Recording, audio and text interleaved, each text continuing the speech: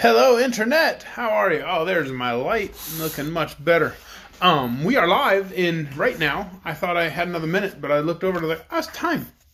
Um, it's eight o'clock. We're here to read another chapter of the Tin Woodman of Oz, the twelfth book of the Oz series. Very exciting stuff. Um, for for the record, it is the most wonderful week of the year. It is it is my favorite time of the year. They announced the brackets last night. The NCAA men's basketball tournament brackets.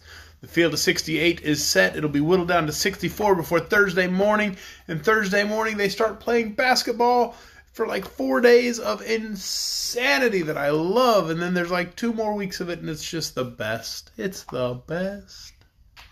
Um, every year, I have as many people as I can get to fill out brackets and send them to me, and we do a big competition. It's all for bragging rights. My kids help keep score because it's like a little math lesson for them, and I get to make spreadsheets, which are fun for me because I'm a weird dork like that, and the brackets are my favorite thing in the world. So, if you, dear listener, want to send me a bracket, go for it. If you're not sure how to send me a bracket, uh, message me on Facebook here, and I will I will tell you exactly what to do. It's the best. Um, my my my nine year old filled out her bracket earlier this evening.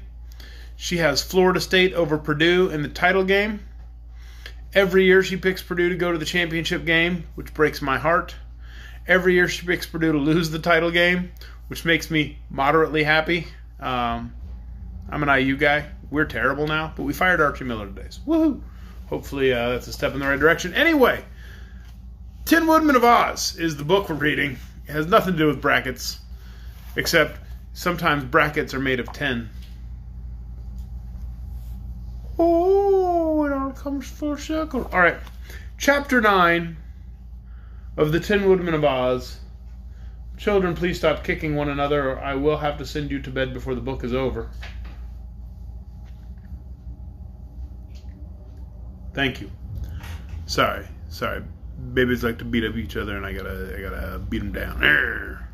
Chapter nine of the Tin Woodman of Oz is called "The Quarrelsome Dragons." Let's read. The green monkey sank gently into the earth for a little way, and then tumbled swiftly through space, landing on a rocky floor with a thump that astonished him. Then he sat up, found that no, bro- no bones were broken, and gazed around him. He seemed to be in a big underground cave which was dimly lighted by dozens of big round disks that looked like moons. They were not moons, however, as Woot discovered when he had examined the place more carefully. They were eyes. The eyes were in the heads of enormous beasts whose bodies trailed far behind them.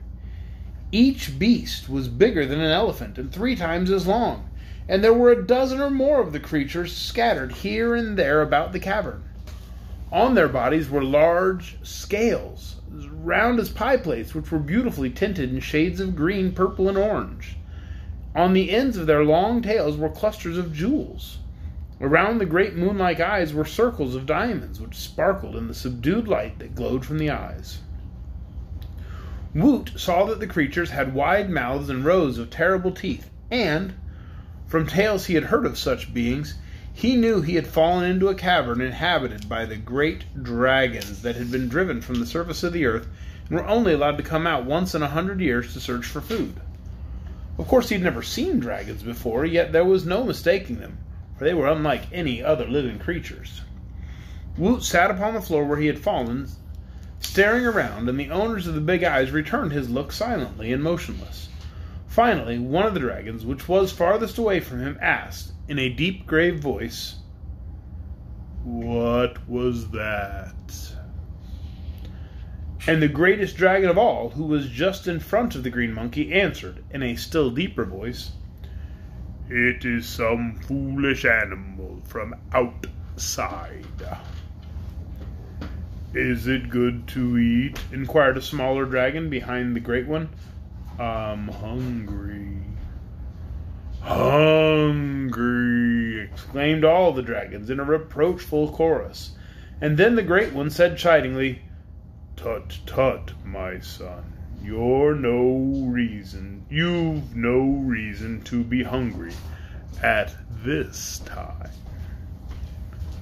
Why not? asked the little dragon.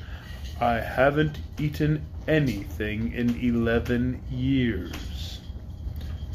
Eleven years is nothing, remarked another dragon, sleepily opening and closing his eyes.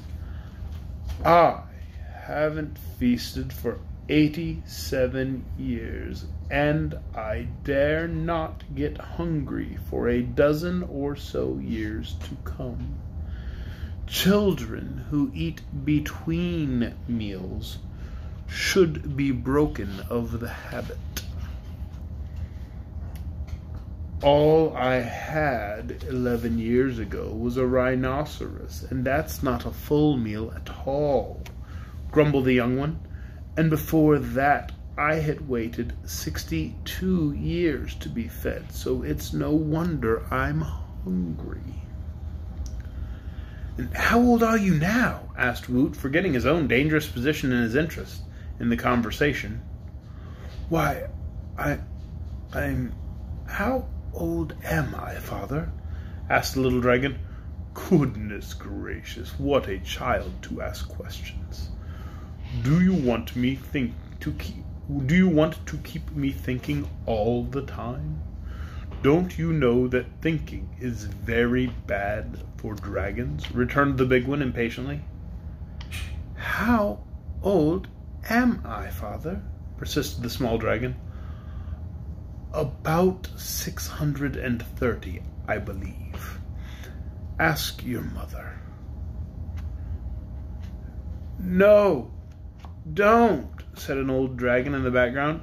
Haven't I enough worries, what with being wakened in the middle of a nap, without being obliged to keep track of my children's ages? You've been fast asleep for over sixty years, mother, said the child dragon. How long a nap do you wish? I should have slept for forty years longer and this strange little green beast should be punished for falling into our cavern and disturbing us. I, I didn't know you were here, and I didn't know I was going to fall in, explained Woot. Nevertheless, here you are, said the great dragon, and you have carelessly wakened our entire tribe. So it stands to reason you must be punished. In what way? inquired the green monkey, trembling a little. Give me time, and I'll think of a way. You're in no hurry, are you? asked the great dragon. No, indeed, cried Woot. Take your time. I'd much rather you'd all go to sleep again and punish me when you wake up in a hundred years or so. Let me eat him, pleaded the little dragon. He is too small, said the father. To eat this one green monkey would only serve to make you hungry for more. And there are no more. Quit this chatter and let me go to sleep, protested another dragon, yawning in a fearful manner. For when he opened his mouth, a sheet, a, sheet of flame leaped forth from it and made Woot jump back to get out of its way. In his jump, he bumped the nose of a dragon behind him, which opened its mouth to growl and shot another sheet of flame at him. The flame was bright, but not very hot, yet Woot screamed with terror and sprang forward with a great bound. This time he landed on the paw of the great chief dragon, who angrily raised his other front paw and struck the green monkey a fierce blow. Woot went sailing through the air and fell sprawling upon the rocky floor, far beyond the place where the dragon tribe was grouped. All the great beasts were now thoroughly wakened and aroused, and they blamed the monkey for disturbing their quiet. The littlest dragon darted after Woot, and the others turned their unwieldy bodies in his direction and followed, flashing from their eyes and mouths flames which lighted up the entire cavern. Woot almost gave himself up for lost, and at that moment, but he scrambled to his feet and dashed away to the farthest end of the cave the dragons following more leisurely because they were too clumsy to move fast. Perhaps they thought there was no need of haste, as the monkey could not escape from the cave. But away, up at the end of the place, the cavern floor was heaped with tumbled rocks, so Woot, with an agility born of fear, climbed from rock to rock until he found himself crouched against the cavern roof. There he waited, for he could go no further. While on the other while on over while on over the tumbled rocks slowly crept the dragons, the littlest one coming first, because he was hungry as well as angry. The beasts had almost reached him when Woot, remembering his lace apron, now sadly torn and soiled, recovered his wits and shouted, Open! At the cry, a hole appeared in the roof of the cavern just over his head, and through it the sunlight streamed full upon the green monkey. The dragons paused, astonished at the magic and blinking at the sunlight, and this gave Woot time to climb through the opening. As soon as he reached the surface of the earth, the hole closed again, and the boy monkey realized with a thrill of joy that he'd seen the last of the dangerous dragon family. He sat upon the ground, still panting hard from his exertions, when the bushes before him parted and his former enemy, the jaguar, appeared. Don't run, said the woodland beast as Woot sprang up. You are perfectly safe so far as I'm concerned. For since you so mysteriously disappeared, I've had my breakfast. I am now on my way home to sleep for the rest of the day. Oh, indeed, returned the green monkey in a tone both sorry and startled. Which of my friends did you manage to eat? None of them, returned the jaguar with a sly grin. I had a dish of magic scrambled eggs on toast, and it wasn't a bad feast at all. There isn't room in me for even you and I don't regret it because I judge from your green color that you are not ripe. Would make an indifferent meal. We jaguars have to be careful of our digestions. Farewell, friend monkey. Follow the path I made through the bushes, and you will find your friends. With this, the jaguar marched on his way, and Woot took up his advice, followed the trail he had made until he came to the place where the little brown bear the tin owl and the canary were conferring together and wondering what had become of their comrade, the green monkey. And that is the end of chapter 9, The Quarrelsome Dragons. Tomorrow night, I hope you'll join us for chapter 10, Tommy Quickstep. Find out what that's all about tomorrow night, right here, 8 o'clock, Facebook Live. Be sure to send me brackets. Good night.